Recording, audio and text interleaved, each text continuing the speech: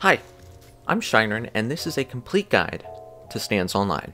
Though I'm not here to waste anyone's time, so I'm going to put on the screen what times you can jump to in order to get to the four separate segments of this video. And now with that out of the way, let's start off with the first segment, items.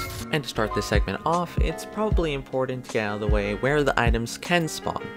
Every single red dot on this map represents where an item could possibly spawn, so feel free to pause the video, or even screenshot it so that you can go ahead and look for the items at these locations. The first item you'll probably encounter is the arrow, which allows you to get stands in this game.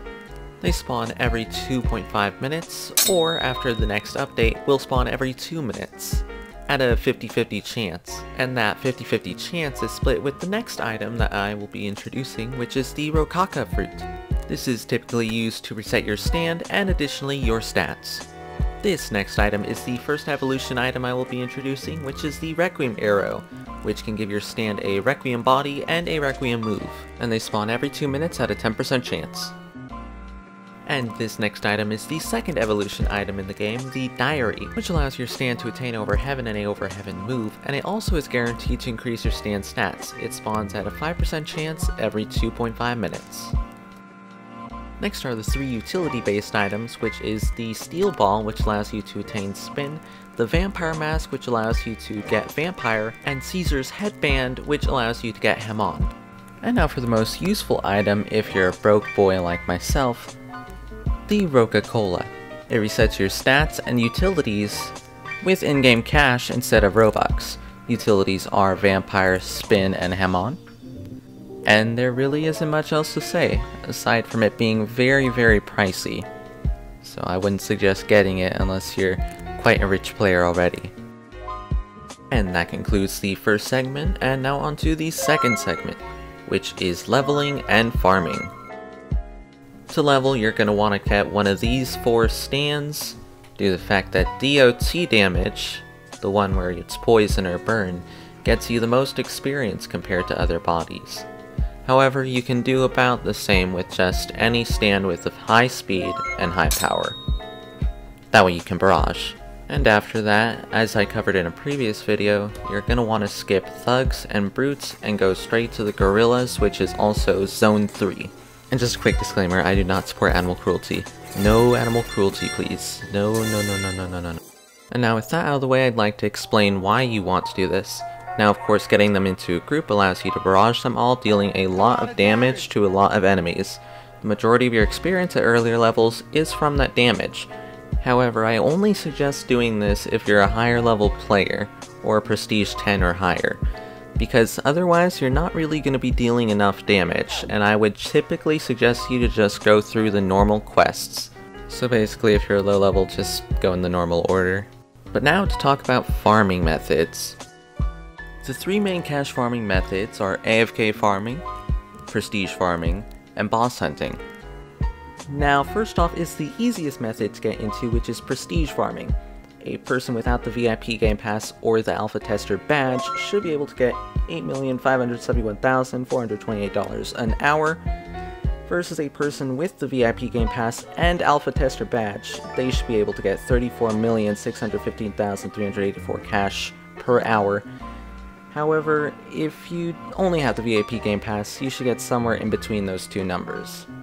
Now, onto the second method, which is boss hunting, which can range from literally zero cash, because there's a chance that it just doesn't spawn, or if you get absolute maximum efficiency, it's spawning every 6 minutes, or you finding it every 6 minutes and killing it basically instantly, solo, you should be able to get 30 million an hour.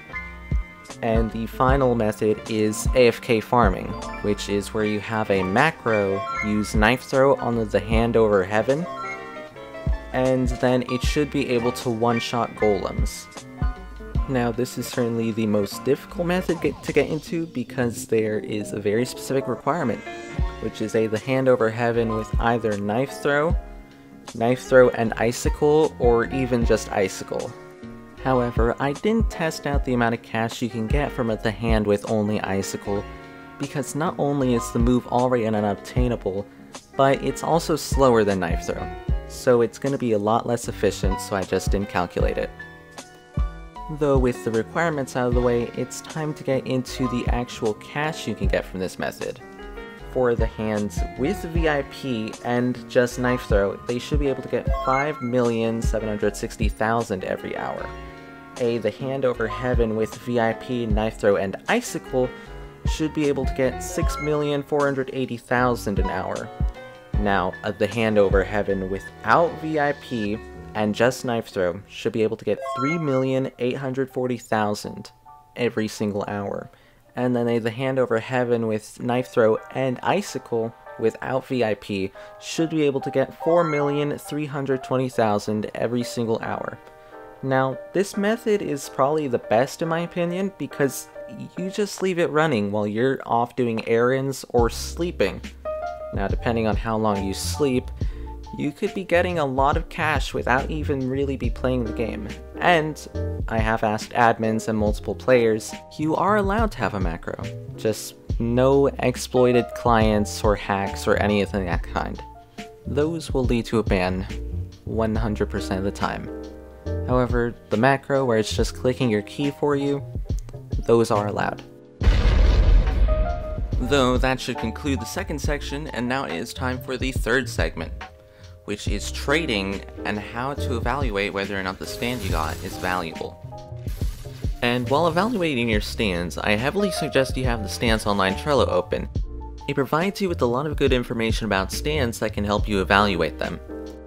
And because of how well the Trello is run, I would just like to give a quick thank you to all the Trello keepers. The work they do is insane considering they probably don't get paid for it because it's Roblox Lego game. So serious thank you to them.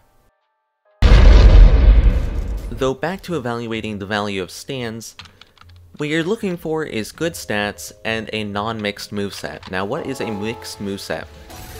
A lot of new players probably have heard this term when trying to trade and they aren't quite sure what it is. What a mixed moveset is, is a moveset with special and strength moves. Typically you only want all special or all strength moves. That typically brings up the value of a stand significantly. And by looking at the Trello, you can see the damage or speed buffs from certain bodies. Now of course, a stand with high speed and high damage is going to have a powerful barrage, so that's going to be good with a strength moveset.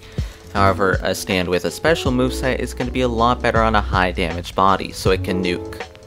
And on an extremely serious note, never walk up to a person in a public lobby and ask to see stats. And the last thing to remember is if you get any of these bodies, instantly Roka your stand. And that brings the third segment to an end, and also the video to an end. If there's anything I may have missed in this guide, please comment that down below, and I'll try and put it in a pinned comment. Other than that, thank you for watching, please subscribe if you haven't, and I'll see you next time.